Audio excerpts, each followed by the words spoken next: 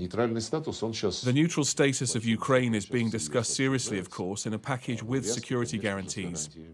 Any possible options, any universally acceptable security guarantees for Ukraine and all the countries, including Russia, apart from NATO's expansion, there are concrete wordings at the talks which, in my opinion, are close to an agreement. Для Украины, для всех стран, включая Россию. Нет никаких а, препятствий для организации встречи при понимании, что она а, не будет встречей а, ради самой себя, а будет контакт президентов, который закрепит достигнутые договоренности, которые сейчас вырабатываются а, по а, каналу двух делегаций. Они заседали в Белоруссии три раза, сейчас работают в режиме видеоконференц-связи. Господин министр Лавров, э, что Россия сделает, э, чтобы эвакуировать